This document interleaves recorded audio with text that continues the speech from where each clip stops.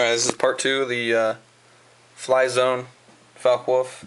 Sorry if I say Park Zone, I cannot get it right. Fly Zone Falk Wolf FW190. Anyways, uh, we finished off the doors. I uh, thought I had enough room on memory card, and I didn't, so we got cut off there. But anyways, we finished off on assembling the doors. Um, when they mount on here, they can be moved up and down. So if you're having a fitment issue, anything like that, to where it's just not lining up with the top hole, um, I do recommend putting the bottom one in first, because that one's not moving, obviously. It's going to be going, and then lining your top one up. Uh, if it doesn't fit, just kind of undo it and move it up and down a little bit. You may be fighting the spring pressure in here, so just keep that in mind. You may have to pull down on it, and, or if you want, you can just undo these guys and get this in the right spot and get it back in. A lot of times you're going to be dealing with uh, screw direction, so you may have to uh, kind of get creative. I just put them together as it is, and then if I have an issue, I will uh, move this up and down just by hand. I'll kind of hold on to it, and then with a screwdriver on the back side, I'll tighten it up where it's needed, and go from there. So uh, let's see here, the door mounts, and then uh, obviously you want to be using Loctite. We talked about that a little bit in the last one. You want to use Loctite here on the metal only, obviously, and then in these ones for the mounting fixture itself. Obviously not on the one up here, it goes in the plastic, not needed. The ones for the doors, I would use Loctite on, I would recommend it. And then your ones down here for fixing, for uh, clamping these two together, and then your one in here for the spring. I would use Loctite on those guys just to help out blue Loctite or a uh, lighter Loctite if you can. I've used red a couple times and uh, had a heck of a time trying to get those screws out. And those little tiny 2 mil guys, the heads on them cannot handle it. And sometimes they end up breaking and then I'm having fun with drill bits and whatnot.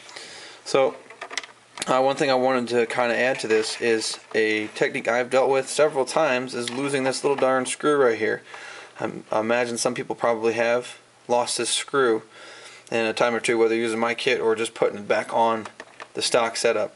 The bad thing about the stock setup is obviously you cannot take it apart like I have done here.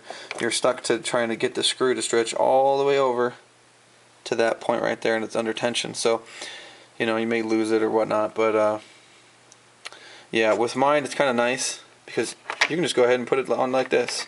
How I have it in this one. So I actually do this first. I'll install it on the upper portion first um, obviously you can tell it's an upper because it'll have these two extra holes and the lower just has the one.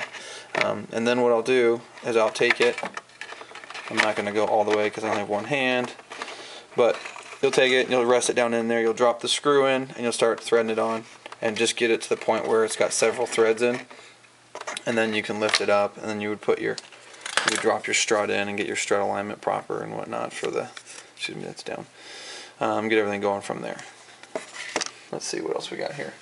Spring it. Um, one thing I was going to say earlier, I meant to add it to the last portion of this, but when you're dealing with this guy for up and down, um, being able to adjust this, they'll actually will adjust your wheel up and down as well because there's a lock that's built into this right here that this is going to hinge down and contact and keep this from basically the wheel extending. See how the wheel doesn't come up anymore? Because it's hitting a lock. Um, mine actually have them in them. It's just a little tiny tab that's in them. Of course I can't find it. It's this little tab that's right there, just hanging off. So it's not a big deal if they do come out all the way because they're going to set like this anyways while they're in there. But if you start having clearance issues, whenever it, fighting it here, whenever it comes down and your wheel clearance is a bit off, it's a bit high right in here. Um, on mine, I never really cared about it, so I shaved it out. I wasn't really worried about it. But the way my kits are set up, these are up. They can slide up and down. Like I said earlier, the way I've drilled them and set them up, it's all for stock configuration, so it should fit in here just fine with no problems.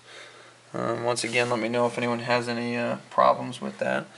You know, I'll uh, help you out for assembly reasons or whatnot, or if you want to send it back to me, we kind of figure something out. Not a big deal at all. Uh, one more thing I wanted to kind of go over that wasn't quite on the last video is uh, the upper strut removal of the mounting brackets. It's still going to be exact same.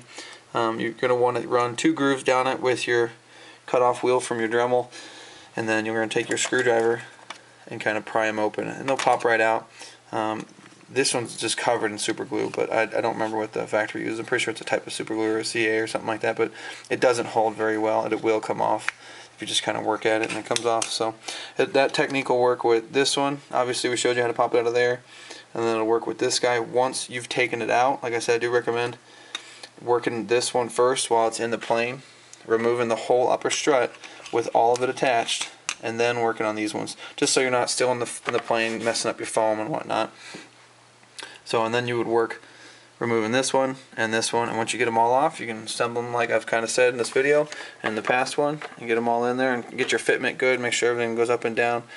And then once you get all satisfied with everything how it is, you can put your outer doors on, and then run your servos, and uh, you know go from there. And happy flights and whatnot and all that good stuff. So. If anyone has any other questions, you can uh, send me a message on uh, RC Groups. I'm uh, OLD or Old 82 Cutlass at RC Groups. So once again, that's Old 82 Cutlass at RC Groups. Happy flights, guys.